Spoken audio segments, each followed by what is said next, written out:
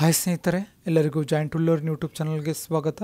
ಇವತ್ತಿನ ಒಂದು ತರಗತಿಯಲ್ಲಿ ಮೇ ಎಂಟು ಎರಡು ಸಾವಿರದ ಇಪ್ಪತ್ತರ ಒಂದು ಪ್ರಚಲಿತ ಘಟನೆಗಳಿಗೆ ಸಂಬಂಧಪಟ್ಟಂತೆ ಪ್ರಮುಖ ಪ್ರಶ್ನೆಗಳನ್ನು ಡಿಸ್ಕಷನ್ ಮಾಡೋಣ. ಕ್ಲಾಸನ್ನು ಸ್ಕಿಪ್ ಮಾಡಬೇಡಿ, ಕೊನೆ ತನಕ ನೋಡಿ ಹಾಗೂ ಕ್ಲಾಸನ್ನು ನೋಡುವಾಗ ನೋಟ್ಸ್ ಕೂಡ ಮಾಡ್ಕೊಳ್ಳಿ.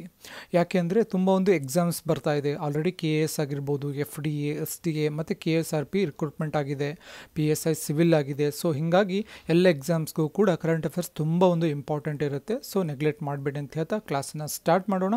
ಅದಕ್ಕಿಂತ ಮುಂಚೆ ನೀವಿನ್ನು ನಮ್ಮ ಚಾನಲ್ಗೆ ಸಬ್ಸ್ಕ್ರೈಬ್ ಆಗಿರಲಿಲ್ಲ ಅಂದರೆ ಜಾಯಿಂಟ್ ಉಲ್ಲರ್ ಯೂಟ್ಯೂಬ್ ಚಾನಲ್ಗೆ ಸಬ್ಸ್ಕ್ರೈಬ್ ಆಗಿ ಹಾಗೂ ಬೆಲ್ ಐಕಾನನ್ನು ಪ್ರೆಸ್ ಮಾಡಿ. ನಾವು ಮಾಡುವಂತಹ ಒಂದು ಎಲ್ಲ ವಿಡಿಯೋಸ್ಗಳ ಒಂದು ಅಪ್ಡೇಟ್ಸ್ ಕೂಡ ನಿಮಗೆ ಸಿಗುತ್ತೆ.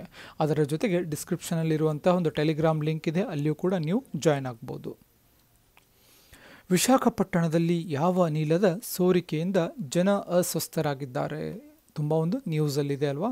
ತುಂಬ ಒಂದು ಟಿ ವಿಯಲ್ಲಿ ಒಂದು ಕನ್ನಡ ನ್ಯೂಸ್ ಚಾನಲ್ ಯಾರಾದರೂ ನೋಡ್ತಾ ಇದ್ದರೆ ಅಲ್ಲಿಯೂ ಕೂಡ ಇದರ ಬಗ್ಗೆ ತುಂಬ ಒಂದು ಹೇಳ್ತಾ ಇದ್ದಾರೆ. ವಿಶಾಖಪಟ್ಟಣದಲ್ಲಿ ಒಂದು ಅನಿಲದ ಸೋರಿಕೆಯಾಗಿ ಜನ ಅಸ್ವಸ್ಥರಾಗಿದ್ದಾರೆ. ಸುಮಾರು ಒಂದು ಹತ್ತು ಜನ ಸತ್ತಿದ್ದಾರೆ. ಹಾಗಾದರೆ ಯಾವ ಅನಿಲದ ಒಂದು ಸೋರಿಕೆಯಾಗಿದೆ? ಸರಿಯಾದ ಉತ್ತರ, ಸ್ಟೈರಿನ್ ಮೊನೋಮರ್ ಅನಿಲ. ಇದನ್ನು ನೆನ್ಪಿಟ್ಕೊಳ್ಳಿ. ಸ್ಟೈರಿನ್ ಮೊನೋಮರ್ ಅನಿಲದ ಒಂದು ಸೋರಿಕೆಯಿಂದ ಒಂದು ಜನ ಅಸ್ವಸ್ಥರಾಗಿದ್ದಾರೆ ಹಾಗೂ ಸುಮಾರು ಒಂದು ಹತ್ತು ಜನ ಸತ್ತಿದ್ದಾರೆ. ಎಲ್ಲಿದೆ ಇದು? ವಿಶಾಖಪಟ್ಟಣದಲ್ಲಿದೆ. ಆಂಧ್ರ ಪ್ರದೇಶದ ವಿಶಾಖಪಟ್ಟಣದಲ್ಲಿ ಇದೆ. ಇನ್ನು ಇದು ಯಾವ ದೇಶದ ಕಂಪ್ನಿ ಅಂದರೆ ದಕ್ಷಿಣ ಕೊರಿಯಾದ ಎಲ್ ಜಿ ಕೆಮ್ ಎಂಬ ಒಂದು ಮಾಲೀಕತ್ವದ ಎಲ್ ಜಿ ಪಾಲಿಮರ್ಸ್ ಕಂಪನಿಯ ಒಂದು ಟವರಿಂದ ಅನಿಲ ಸೋರಿಕೆಯಾಗಿದೆ. ಕಂಪ್ನಿ ನೇಮ್ಸ್ಗಳನ್ನು ಕೂಡ ನೆನ್ಪಿಟ್ಕೊಳ್ಳಿ. ದಕ್ಷಿಣ ಕೊರಿಯಾದ ಕಂಪ್ನಿಯದು ಯಾವುದಂದರೆ ಎಲ್ ಜಿ ಕೆಮ್ ನೆನ್ಪಿಟ್ಕೊಳ್ಳಿ, ಎಲ್ ಜಿ ಕೆಮ್ ಮಾಲೀಕತ್ವದ ಅಥವಾ ಓನರ್ಶಿಪ್ದು L G polymers, L G polymers ಎಂಬ ಒಂದು ಘಟಕದಿಂದ ಸೋರಿಕೆಯಾಗಿದೆ. ಈ ಕಂಪನಿ ಏನು ಪ್ರೊಡ್ಯೂಸ್ ಮಾಡ್ತಾ ಇತ್ತು ಅಂತಂದರೆ ಒಂದು ಪ್ಲಾಸ್ಟಿಕ್ ರಿಲೇಟೆಡ್ ಪ್ರಾಡಕ್ಟ್ಸನ್ನು ಪೈಪ್ಸ್ ಆಗಿರ್ಬೋದು, ಮ್ಯಾಟ್ ಆಗಿರ್ಬೋದು, ಎಲ್ಲವನ್ನು ಕೂಡ ಪ್ರೊಡ್ಯೂಸ್ ಮಾಡ್ತಾ ಇತ್ತು. ಈ ಒಂದು ಅನಿಲ, ಸ್ಟೈರಿನ್ ಮೊನೋಮರ್ ಅನಿಲ ಸೋರಿಕೆಯಾಗಿದೆ. ಈ ಅನಿಲದ ಸೋರಿಕೆಯಿಂದ ಜನರು ಅಸ್ವಸ್ಥರಾಗಿದ್ದಾರೆ. ಲಾಂಗ್ ಸ್ಟೈನ್ ಪಾರ್ಕ್ಯೂಫೈನ್ ಎಂಬುದು ಏನು? ಇನ್ನೊಂದು ಸಲ ಹೇಳೋಣ. ಲಾಂಗ್ ಸ್ಟೈನ್ ಪಾರ್ಕ್ಯೂಫೈನ್. ಏನು ಇದು ಅಂತಂದರೆ ಇದು ಮುಳ್ಳಿನಂತಹ ಒಂದು ರಚನೆ ಹೊಂದಿರುವ ಮೀನಾಗಿದೆ. ಇದು ಸಮುದ್ರದಲ್ಲಿ ಸುಮಾರು ಎಂಟು ಮೀಟರ್ ಆಳದಲ್ಲಿ ಇದು ವಾಸಿಸುತ್ತದೆ. ನೆನ್ಪಿಟ್ಕೊಳ್ಳಿ, ಸಮುದ್ರದಲ್ಲಿ ಸುಮಾರು ಎಂಟು ಮೀಟರ್ ಆಳದಲ್ಲಿ ಇದು ವಾಸಿಸುತ್ತದೆ. ಭಾರತ ಸರ್ಕಾರ ಆರಂಭಿಸಿರುವ ಒಂದೇ ಮಾತರಂ ಕಾರ್ಯಾಚರಣೆಯ ಉದ್ದೇಶ ಏನು ಅಂತ ಕೇಳಿದ್ದಾರೆ. ಸರಿಯಾದ ಉತ್ತರ ಲಾಕ್ಡೌನ್ನಿಂದ ವಿವಿಧ ರಾಷ್ಟ್ರಗಳಲ್ಲಿ ಸಿಲುಕಿಕೊಂಡಿರುವ ಭಾರತೀಯರನ್ನು ಕರೆತರುವುದು. ಲಾಕ್ಡೌನ್ ಆಗಿದೆ ಅಲ್ವಾ? ಅದಾದಮೇಲೆ ವಿವಿಧ ರಾಷ್ಟ್ರಗಳಲ್ಲಿ ಒಂದು ಕೆಲಸಕ್ಕೆ ಹೋದಂತಹ ಭಾರತೀಯರು ಸಿಲುಕಿಕೊಂಡಿದ್ದಾರೆ. ಅವರನ್ನು ಭಾರತಕ್ಕೆ ವಾಪಸ್ ಕರೆತರುವುದು ಇದರ ಒಂದು ಉದ್ದೇಶ ಆಗಿದೆ. ಯಾವ ದೇಶಗಳಾಗಿರ್ಬೋದು? U A E United Arab Emirates ಆಗಿರ್ಬೋದು, ಅಥವಾ ಕುವೈತ್ ಆಗಿರ್ಬೋದು, ಸೌದಿ ದೇಶಗಳು ಅದೇ ರೀತಿ ಮಾಲ್ಡೀವ್ಸ್ ಎಲ್ಲ ಒಂದು ದೇಶಗಳಿಂದ ಭಾರತೀಯರನ್ನು ವಾಪಸ್ ಕರೆತರ್ತಾ ಇದ್ದಾರೆ. ಅದಕ್ಕೆ ಹೆಸರನ್ನು ಕಾರ್ಯಾಚರಣೆ ಆಪರೇಷನ್ ಒಂದೇ ಮಾತರಂ ಅಂತ ನೆನ್ಪಿಟ್ಕೊಳ್ಳಿ. ಕೇಳ್ತಾರೆ, ಆಪರೇಷನ್ ಒಂದೇ ಮಾತರಂ. ಇನ್ನು ಮಾಲ್ಡೀವ್ಸ್ನಲ್ಲಿ ಮಾಲ್ಡೀವ್ಸ್ನಲ್ಲಿ ಸಿಲುಕಿಕೊಂಡಿರುವ ಭಾರತೀಯರನ್ನು ಕರೆತರಲು ಐ ಎನ್ ಎಸ್ ಜಲಾಶ್ವವನ್ನು ಕಳುಹಿಸಿದೆ. ಭಾರತೀಯ ನೌಕಾಪಡೆ ಕಳುಹಿಸಿದೆ.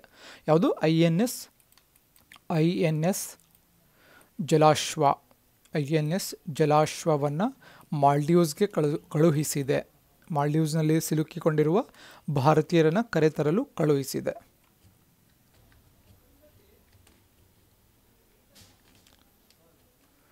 ಶಿಕ್ಷಣ ಕ್ಷೇತ್ರದ ನವೋದ್ಯಮ ಬೈಜೂಸ್ನ ಸ್ಥಾಪಕ ಯಾರು? ಶಿಕ್ಷಣ ಕ್ಷೇತ್ರದ ಒಂದು ನವೋದ್ಯಮ ಸ್ಟಾರ್ಟಪ್ ಇದೆ ಬೈಜೂಸ್ ಅಂತ ಹೇಳಿ. ಬೈಜೂಸ್ ಅಂತಂದರೆ ಗೊತ್ತಿದೆ, ತುಂಬ ಜನಕ್ಕೆ ಗೊತ್ತಿದೆ ಅನ್ಕೋತೀವಿ. ಯಾರಾದರೂ ಇಂಗ್ಲೀಷ್ನಲ್ಲಿ U P S C prepare ಆಗ್ತಾ ಇದ್ರಲ್ಲ, ಅವ್ರಿಗೆ ತುಂಬ ಸ್ವಲ್ಪ ಗೊತ್ತಿರುತ್ತೆ. ಬೈಜೂಸ್ ಲರ್ನಿಂಗ್ ಆ್ಯಪ್ ಅಂತ ಹೇಳಿ ಒಂದು ಆ್ಯಂಡ್ರಾಯ್ಡ್ ಮತ್ತು ಐ ಒ ಎಸ್ ಆ್ಯಪ್ ಕೂಡ ಇದೆ. ಲರ್ನಿಂಗ್ ಆ್ಯಪ್ ಇದೆ. ಮತ್ತು ಇತ್ತೀಚೆಗೆ ಇವರು ನಮ್ಮ ಒಂದು ಭಾರತ ಕ್ರಿಕೆಟ್ ಟೀಮ್ ಏನಿದೆ ಅಲ್ವಾ? ಪುರುಷರ ಕ್ರಿಕೆಟ್ ಟೀಮ್ ಮತ್ತು ಮಹಿಳೆಯರ ಕ್ರಿಕೆಟ್ ಟೀಮ್ನ ಒಂದು ಸ್ಪಾನ್ಸರನ್ನು ಪಡೆದುಕೊಂಡಿದ್ದಾರೆ. ಜರ್ಸಿ ಮೇಲೆ ಬೈಜೂಸ್ ಅಂತ ಇರುತ್ತೆ. ನೀವು ಅಬ್ಸರ್ವ್ ಮಾಡಿರ್ಬೋದು. ಜರ್ಸೀಸ್ ಮೇಲೆ ಬೈಜೂಸ್ ಅಂತ ಇರುತ್ತೆ. ಈ ಬೈಜೂಸ್ನ ಸ್ಥಾಪಕ ಯಾರು ಅಂತ ಪ್ರಶ್ನೆ ಕೇಳಿದ್ದಾರೆ. ಸರಿಯಾದ ಉತ್ತರ ಬೈಜು ರವಿಚಂದ್ರನ್. ಬೈಜು ರವಿಚಂದ್ರನ್ ಕೇರಳ ಮೂಲದವರು ಇವರು. ಕೇರಳ ಮೂಲದ ವ್ಯಕ್ತಿ ಬೈಜೂಸ್ ರವಿಚಂದ್ರನ್ ಮೆಕ್ಯಾನಿಕಲ್ ಇಂಜಿನಿಯರ್ ಆಗಿದ್ದರು ಅದೇ ರೀತಿ ಮುಂದೆ ಒಂದು ಟೀಚಿಂಗ್ ಫೀಲ್ಡಲ್ಲಿ ಇಂಟ್ರೆಸ್ಟ್ ಇದ್ದಿದ್ದಕ್ಕೆ ಟೀಚಿಂಗ್ ಮಾಡ್ತಾ ಮಾಡ್ತಾ ಮುಂದೆ ತಮ್ಮ ಒಂದು ಸ್ಟಾರ್ಟಪ್ಪನ್ನು ಸ್ಟಾರ್ಟ್ ಮಾಡಿದ್ರು. ಬೈಜೂಸ್ ಸ್ಟಾರ್ಟಪ್ ಅಂತ. ಇದು ಇವರ ಒಂದು ಒಟ್ಟು ಆಸ್ತಿ ಮೌಲ್ಯ ಹದಿಮೂರು ಸಾವಿರದ ಐದುನೂರು ಕೋಟಿ ರೂಪಾಯಿ ಇದೆ. ಇತ್ತೀಚೆಗೆ ಪ್ರೋಬ್ಸ್ ಬಿಡುಗಡೆ ಮಾಡಿದಂತಹ ಅತ್ಯಂತ ಶ್ರೀಮಂತರ ಪಟ್ಟಿಗೆ ಭಾರತದ ಅತ್ಯಂತ ಕಿರಿಯ ವ್ಯಕ್ತಿಯವರು. ಪ್ರೋಪ್ಸ್ ಪಟ್ಟಿಗೆ ಸೇರಿದಂತಹ ಭಾರತದ ಅತ್ಯಂತ ಕಿರಿಯ ವ್ಯಕ್ತಿ ಶ್ರೀಮಂತರ ಪಟ್ಟಿಗೆ ಸೇರಿದ್ದಾರೆ. ಇವರ ವಯಸ್ಸು ಮೂವತ್ತೊಂಬತ್ತು ವರ್ಷ. ಮೂವತ್ತೊಂಬತ್ತು ವರ್ಷ ನೆನಪಿಟ್ಕೊಳ್ಳಿ. ಇದು ಇಂಪಾರ್ಟೆಂಟ್ ಇದೆ. Byju Ravichandran. U V blaster ಎಂಬುದು ಸುದ್ದಿಯಲ್ಲಿದ್ದು ಅದು ಏನು ಅಂತ ಕೇಳಿದ್ದಾರೆ. ಯು ವಿ ಬ್ಲಾಸ್ಟರ್ ಇದು ಅಲ್ಟ್ರಾ ವಯೋಲೆಟ್ ಡಿಸ್ಇನ್ಫೆಕ್ಷನ್ ಟವರ್ ಅಂತ ಇದರ ಪೂರ್ತಿ ಆಗುತ್ತೆ ಹೆಸರು. Ultra violet disinfection tower. ಇದನ್ನು ಅಭಿವೃದ್ಧಿಪಡಿಸಿದವರು ಡಿ ಆರ್ ಡಿ ಒ ಅಭಿವೃದ್ಧಿಪಡಿಸಿದೆ. Defence research and development organisation ಇದು ಅಭಿವೃದ್ಧಿಪಡಿಸಿದೆ. ಡಿ ಆರ್ ಡಿ ಒನ ಪ್ರಸ್ತುತ ಮುಖ್ಯಸ್ಥರು ಜಿ ಸತೀಶ್ ರೆಡ್ಡಿ ಇದ್ದಾರೆ. ಜಿ ಸತೀಶ್ ರೆಡ್ಡಿ. ಪ್ರಸ್ತುತ ಮುಖ್ಯಸ್ಥರು. ಇದರ ಉದ್ದೇಶ ಏನು ಅಥವಾ ಇದರ ಫಂಕ್ಷನ್ ಏನು ಅಂತಂದರೆ ಎಲೆಕ್ಟ್ರಾನಿಕ್ ವಸ್ತುಗಳನ್ನು ಸೋಂಕು ಕಡಿಮೆ ಮಾಡುವುದು ಉದಾಹರಣೆಗೆ ಒಂದು ಕಂಪ್ಯೂಟರ್ ಇರ್ಬೋದು, ಅಥವಾ ಒಂದು ಎಲೆಕ್ಟ್ರಾನಿಕ್ ವಸ್ತುಗಳಿಗೆ ಏನಾದರೂ ಸೋಂಕು ಹರಡಿದರೆ ಅದನ್ನು ಕಡಿಮೆ ಮಾಡುತ್ತೆ. ಸೊ ಇದರ ಉದ್ದೇಶ ಯು ವಿ ಬ್ಲಾಸ್ಟರ್ ಎಂಬುದು ಏನದು? Ultra violet disinfection tower India S M E ಎಂಬುದು ಯಾವ ಹಣಕಾಸು ಸಂಸ್ಥೆಯ ಕಾರ್ಯಸೂಚಿಯಾಗಿದೆ? ಅಥವಾ ಒಂದು ಇನಿಷಿಯೇಟಿವ್ ಆಗಿದೆ ಅಂತ ಕೇಳಿದ್ದಾರೆ. ಸರಿಯಾದ ಉತ್ತರ S I D B I small industrial development bank of India S I D B small industrial development bank of India ಯಾ, ಇದರ ಕೇಂದ್ರ ಕಚೇರಿ ಎಲ್ಲಿದೆ ಅಂತ ಹೇಳಿ ನೀವು ಕಮೆಂಟ್ ಸೆಕ್ಷನಲ್ಲಿ ಹೇಳಬೇಕು. Small industrial development of development bank of ಇಂಡಿಯಾದು ಕೇಂದ್ರ ಕಚೇರಿ ಎಲ್ಲಿದೆ ಅಂತೇಳಿ ಕಮೆಂಟ್ ಸೆಕ್ಷನಲ್ಲಿ ಹೇಳಿ. ಇಂಟರ್ನ್ಯಾಷನಲ್ ಫ್ಯಾಕ್ಟ್ ಚೆಕಿಂಗ್ ನೆಟ್ವರ್ಕ್ ಯಾವ ಸಾಮಾಜಿಕ ಮಾಧ್ಯಮದಲ್ಲಿ ಚಾಟ್ ಬೋಟನ್ನು ಪ್ರಾರಂಭಿಸಿದೆ? ಸರಿಯಾದ ಉತ್ತರ ವಾಟ್ಸ್ಯಾಪಲ್ಲಿ ಪ್ರಾರಂಭಿಸಿದೆ ಇದು. ಚಾಟ್ ಬೋಟನ್ನು ಎಲ್ಲಿ ಪ್ರಾರಂಭಿಸಿದೆ ಅಂದರೆ ವಾಟ್ಸಾಪ್ ವಾಟ್ಸ್ ಆ್ಯಪ್ ಉದ್ದೇಶ ಏನು ಅಂತಂದರೆ ಸುಳ್ಳು ಸುದ್ದಿಯನ್ನು ಹರಡುವುದು, ಹರಡುವುದನ್ನು ತಡೆಗಟ್ಟುವುದು ಇದರ ಉದ್ದೇಶ. ಒಂದು ಮಿಸ್ಇನ್ಫಾರ್ಮೇಷನ್ಸ್ ಆಗಿರ್ಬೋದು ಅಥವಾ ಒಂದು ಫಾಲ್ಸ್ ಇನ್ಫಾರ್ಮೇಷನನ್ನು ಸ್ಪ್ರೆಡ್ ಆಗೋದು, ಆಗದೆ ಆಗದೆ ಇರುವಂತೆ, ಅಂದರೆ ಸ್ಪ್ರೆಡ್ ಆಗದೆ ಅಂತೆ ತಡೆಗಟ್ಟುವುದು, ಅದನ್ನು ರಿಸ್ಟ್ರಿಕ್ಟ್ ಮಾಡುವುದು ಇದರ ಒಂದು ಉದ್ದೇಶ ಆಗಿದೆ. ಎರಡು ಸಾವಿರದ ಹತ್ತೊಂಬತ್ತರ ಫೋಟೋಗ್ರಾಫಿ ವಿಭಾಗದಲ್ಲಿ ಪುಲ್ಟೀಜರ್ ಪ್ರಶಸ್ತಿ ಯಾರಿಗೆ ಬಂದಿದೆ ಅಂತ ಕೇಳಿದ್ದಾರೆ. ಮೂರು ಜನಕ್ಕೆ ಬಂದಿದೆ. ಯಾರ್ಯಾರು ಅಂದರೆ ಡಾರ್ ಯಾಸಿನ್, ಮುಖ್ತರ್ ಖಾನ್ ಮತ್ತು ಚನ್ನಿ ಆನಂದ್. ಮೂರು ಜನಕ್ಕೆ ಈ ಒಂದು ಪ್ರಶಸ್ತಿ ಬಂದಿದೆ. ಇದು ಐವತ್ನಾಲ್ಕನೇ ಪುಲ್ಟೀಜರ್ ಪ್ರಶಸ್ತಿಯಾಗಿರುತ್ತೆ. ಐವತ್ನಾಲ್ಕನೇ ಪುಲ್ಟೀಜರ್ ಪ್ರಶಸ್ತಿಯಾಗಿದೆ. ಬರ್ಸಾ ಹರಿತ್ ಗ್ರಾಮ್ ಯೋಜನೆ ಯಾವ ರಾಜ್ಯಕ್ಕೆ ಸಂಬಂಧಿಸಿದೆ? ಯೋಜನೆ ಹೆಸರನ್ನು ನೆನ್ಪಿಟ್ಕೊಳ್ಳಿ. ಬರ್ಸಾ ಹರಿತ್ ಗ್ರಾಮ ಯೋಜನೆ ಯಾವ ರಾಜ್ಯಕ್ಕೆ ಸಂಬಂಧಿಸಿದೆ ಅಂತ ಕೇಳಿದ್ದಾರೆ. ಇದು ಜಾರ್ಖಂಡ್ಗೆ ಸಂಬಂಧಿಸಿದೆ. ಏನು ಇದರ ಉದ್ದೇಶ ಅಂದರೆ ಒಂದು ಗೋರ್ಮೆಂಟ್ ಲ್ಯಾಂಡಲ್ಲಿ, ಸರ್ಕಾರಿ ಜಾಗದಲ್ಲಿ ಒಂದು ಗಿಡಗಳನ್ನು ನಡೆಯುವುದು ನಡೆಯುವುದು ಅಥವಾ ನೆಡುವುದು.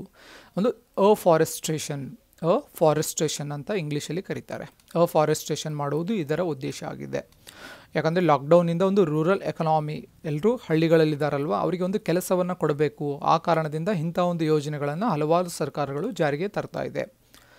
ಈ ಯೋಜನೆಯಿಂದ ಹಳ್ಳಿಗಳಲ್ಲಿರುವಂಥ ಜನರಿಗೆ ಒಂದು ಉದ್ಯೋಗ ಸಿಗುತ್ತೆ. ಅದೇ ರೀತಿ ಒಂದು ಗಿಡಗಳನ್ನು ನೆಡುವುದು ಕೂಡ ವಾತಾವರಣಕ್ಕೆ ಅನುಕೂಲ ಕೂಡ ಆಗಿರುತ್ತೆ. ಹೆಸರು, ಯೋಜನೆ ಹೆಸರನ್ನು ನೆನಪಿಟ್ಕೊಳ್ಳಿ. ಬರ್ಸಾ ಹರಿತ್ ಗ್ರಾಮ್ ಯೋಜನೆ. ಇನ್ನು ಮುಂದಿನ ಪ್ರಶ್ನೆ, ಪೋಟೋ ಹೋ ಖೇಲ್ ವಿಕಾಸ್ ಯೋಜನಾ? ಪೋಟೋ ಹೋ ಖೇಲ್ ವಿಕಾಸ್ ಯೋಜನಾ ಇದು ಯಾವ ರಾಜ್ಯದ ಯೋಜನೆಯಾಗಿದೆ ಅಂತ ಕೇಳಿದ್ದಾರೆ. ಇದು ಕೂಡ ಜಾರ್ಖಂಡ್ ರಾಜ್ಯದ ಯೋಜನೆಯಾಗಿದೆ. ಇದರ ಉದ್ದೇಶ ಏನು ಅಂತಂದರೆ ಒಂದು ಕ್ರೀಡಾಂಗಣಗಳ ಒಂದು ಅಭಿವೃದ್ಧಿ ಮಾಡುವುದು. ಒಂದು ಗ್ರಾಮೀಣ ಮತ್ತು ಪಟ್ಟಣಗಳಲ್ಲಿ ಕ್ರೀಡಾಂಗಣಗಳ ಅಭಿವೃದ್ಧಿ ಮಾಡುವುದು ಇದರ ಒಂದು ಉದ್ದೇಶ ಆಗಿದೆ. ಇಷ್ಟು ಇವತ್ತಿನ ಒಂದು ಇಂಪಾರ್ಟೆಂಟ್ ಕರೆಂಟ್ ಅಫೇರ್ಸ್ನ ಪ್ರಮುಖ ಪ್ರಶ್ನೆಗಳನ್ನು ಡಿಸ್ಕಷನ್ ಮಾಡಿದ್ದೀವಿ. ವಿಡಿಯೋ ಇಷ್ಟ ಆದರೆ ಒಂದು ಲೈಕ್ ಮಾಡಿ, ನಿಮ್ಮ ಫ್ರೆಂಡ್ಸ್ಗೆ ಶೇರ್ ಮಾಡಿ, ಹಾಗೂ ನಮ್ಮ ಚಾನಲ್ಗೆ ಸಬ್ಸ್ಕ್ರೈಬ್ ಆಗಿರಲಿಲ್ಲ ಅಂದರೆ ಸಬ್ಸ್ಕ್ರೈಬ್ ಆಗೋದನ್ನು ಮರಿಬೇಡಿ. ಹಾಗೆ ಯಾರಿಗಾದರೂ ಹಿಸ್ಟ್ರಿ ಜಿಯೋಗ್ರಫಿ ಮತ್ತು ಪೊಲಿಟಿಯಲ್ಲಿ ಶಾರ್ಟ್ ನೋಟ್ಸ್ ಬೇಕಾಗಿದ್ದರೆ ಕನ್ನಡದಲ್ಲಿ ಇಂಗ್ಲೀಷಲ್ಲಿ ಅವೈಲೇಬಲ್ ಇರುತ್ತೆ. ಡಿಸ್ಕ್ರಿಪ್ಷನಲ್ಲಿ ಒಂದು ಫೋನ್ ನಂಬರ್ ಇದೆ. ಅದಕ್ಕೆ ನೀವು ಕಾಂಟ್ಯಾಕ್ಟ್ ಮಾಡಿದ್ರೆ ನಿಮಗೆ ನೋಟ್ಸ್ ಕೂಡ ಸಿಗುತ್ತೆ. ಅದೇ ರೀತಿ current affairs P D Fs ಆಗಿರ್ಬೋದು, ಅದೇ ರೀತಿ ಟೆಸ್ಟ್ ಪಿ ಡಿ ಎಫ್ಸ್ ನಾವು ಆಲ್ರೆಡಿ ಸುಮಾರು ಏಳು ಟೆಸ್ಟ್ಗಳನ್ನು ಮಾಡಿದ್ದೇವೆ. ಆ ಎಲ್ಲ ಟೆಸ್ಟ್ಗಳ ಒಂದು ಪಿ ಡಿ ಎಫ್ ಕೂಡ ನಿಮಗೆ ಲಭ್ಯ ಇರುತ್ತೆ. ಸೊ ನೀವು ಕಾಂಟ್ಯಾಕ್ಟ್ ಮಾಡಿದ್ರೆ ಪಿ ಡಿ ಎಫ್ ನಿಮಗೆ ಸಿಗುತ್ತೆ ಅಂತ ಹೇಳ್ತಾ ಮತ್ತೆ ಮುಂದಿನ ತರಗತಿಯಲ್ಲಿ ಮತ್ತೊಂದು ವಿಷಯದ ಕುರಿತು ಮಾತನಾಡೋಣ. ಧನ್ಯವಾದಗಳು.